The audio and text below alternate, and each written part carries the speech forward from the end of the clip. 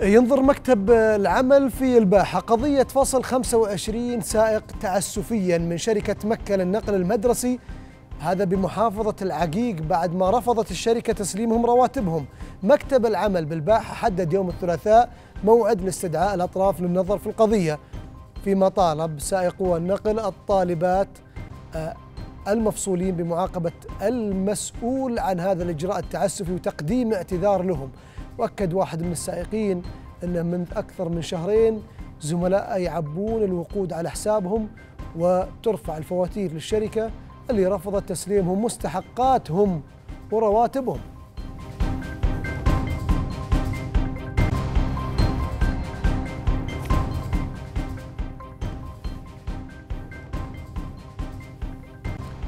ينضم لي من الباحة فهد بشير أحد السائقين المفصولين.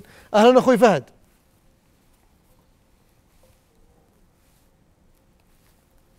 هلا حياك أخي عبد الله. الله يحييك. آه، ممكن ندخل في الموضوع مباشرة.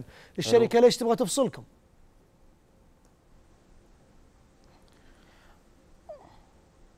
أخويا أول شيء آه، الشركة فصلتنا فصل تعسفي.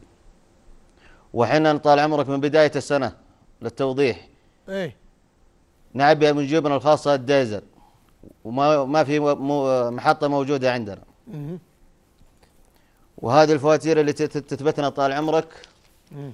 وشيء منها استلموه شركة مكة قبل شهرين شهر 12 مم. وللان ما تم الحساب. وطال عمرك آه، اجتمعنا توقفنا عدم قدرتنا دفاع مصروف الدزل ورواتب متأخرة. ليش يبغون يفصلونكم يا فهد؟ يعني إيش المشكلة؟ اجتمعنا في إدارة في الإشراف. المشكلة الأساسية بيننا وبين الشركة وإدارة التعليم. اجتمعنا في يوم الثلاثاء. وقفنا الباصات. ما عاد نقدر نكمل. ما عاد عندنا مادة ندفع للديزل ونكمل الدفع. فهم يوم وقفتوا قالوا نفصلكم. رواتب متأخرة. الفواتير اللي حسب دفعناها ما حسبونا عليها. طلبنا من مدير نائب مدير التعليم عمر هجات شخصيا في مكتب الإشراف العقيق. اجتمعنا فيه. طلبنا منه وعد. يوم يومين أسبوع أسبوعين شهر. أعطنا وعد بين متى تجي حقوقنا وحنا نداوم لو نسلف طلع من عندنا ما أعطانا أي إجابة. في الليل يوم الثلاثاء اتصل على المشرف وقال تسلم الباصات. ويوم الخميس اتصل ناصر الزهراني مدير شركة مكة وقال اللي ما يسلم يوقف باصه في الحوش يتحمل يوميته ألف ريال.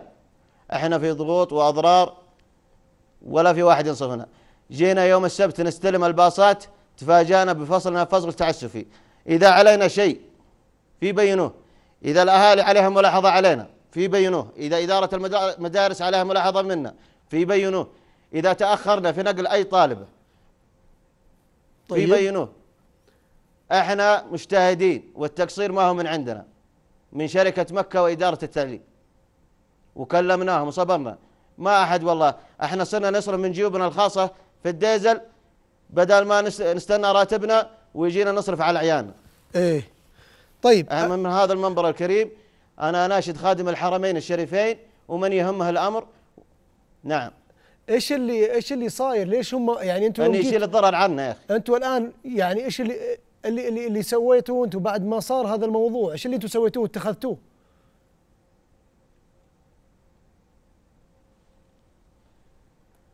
والله اللي اتخذنا رحنا مكتب العمل.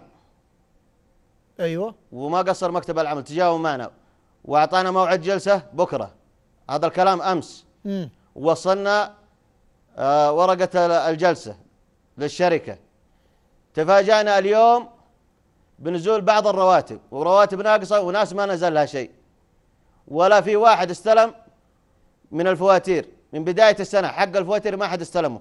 وهذه الفواتير أعيد وأكرر يا آه. أستاذ عبد الله إيه إيه. وفي غيرها كثير غير اللي وصلت الشركة وغيرها موجود أكثر مما تتصور. طيب الشركة الشركة في فلوس لها الآن عند عند إدارة التعليم ورافضة إدارة التعليم تسلمهم إياها.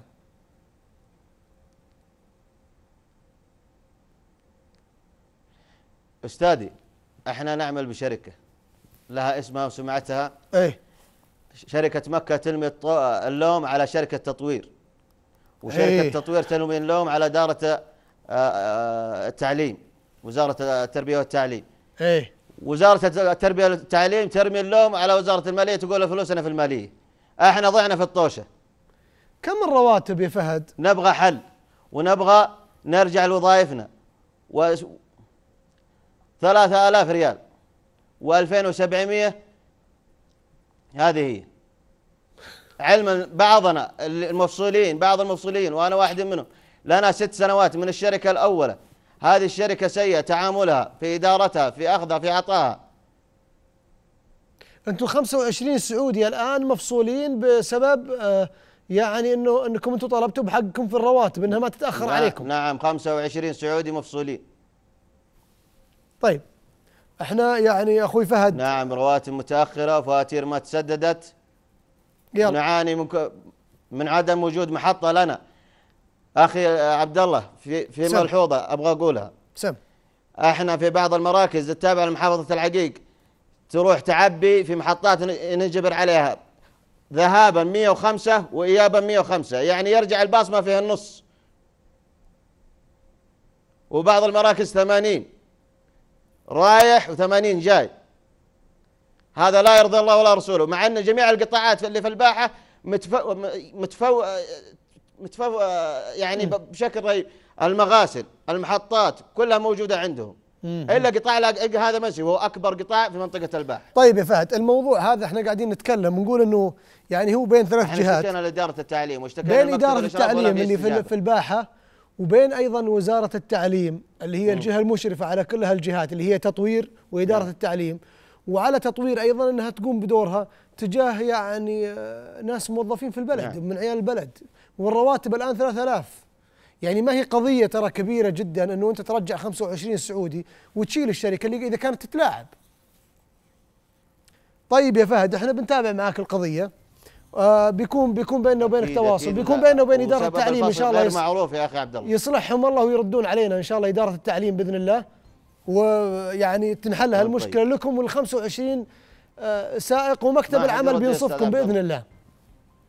شكرا أخوي فهد بشير أحد السائقين المفصولين تعسفيا من وأنت الباحة طيب. شكرا لك يعطيك. العافية.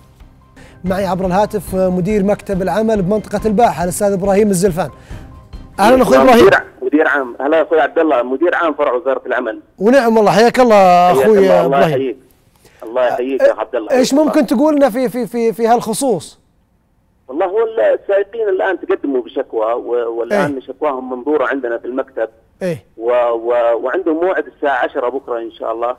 فحينظر في لشكوى الطرف اللي هو السائقين وأيضا. آه، ننظر للشركة لأنه هذه طرفين يعني في طرفين في ال- في الدعوة. لابد أن نسمع من الطرفين. آه، إذا تم يعني الصلح بين الطرفين أثناء ال- ال- ال- الجلسة وإلا تحال عندنا للهيئة الابتدائية لتسوية الخلافات العمالية في المنطقة. اي بس بس فيها أخوي يعني. إبراهيم ترى مشكلة إنه هالقضايا صايرة تأخذ وقت طويل في مكاتب العمل. يعني والربع هذول ما قاعدين يأخذون رواتبهم لهم شهرين وثلاثة. إحنا هذه مسألة الرواتب إحنا ننظر فيها على استعجال إن شاء الله. وأنا يمكن الأخ تداخل معك آه، أحد الشاكين وقال إنه صرفت بمجرد ما أعطيناهم الخطاب مكتب العمل. إنه صرف لهم آه، رواتبهم. إحنا بكرة حننظر مع الشركة وحيتم تكليف مفتشين بزيارة المنشأة ومقر المنشأة. للتاكد من من منها وأيضا إن شاء الله مع نظام الأجور المعمول إيه. هو الآن في وكالة ال- الوزارة التفتيش يعني حيحل كثير من قضايا ال- التأخير في الأجور صحيح أخوي إبراهيم آه. ال- الأهم انه انه إنه السائقين يعني يأخذون مرتباتهم وإنه يعني آه، ندافع عنهم قدر الاستطاعه ونثق والله وأنا وأنا شاكر جد تعمل هال هال هالحضور وهالتواجد بصراحة أستاذ إبراهيم نعم. لا لا ابدا. يعني هذا هو الواجب لنا ويمكن مع الوزير وال الله وجهك. والوزارة كاملة يعني تعمل على أنه مثل هذه القضايا تنظر و... والآن ينظر بها عاجلا يعني وليس يمكن. الإخوان لما تقدموا ما لهم ال- اليوم الثاني إحنا أعطيناهم الموعد يوم الثلاثاء غدا وهذا إن شاء الله. هذا العشم أخوي إبراهيم الزلفان مدير عام مكتب العمل في منطقة الباحة. شكرا جزيلا لك. وبيض الله وجهك. شكرا.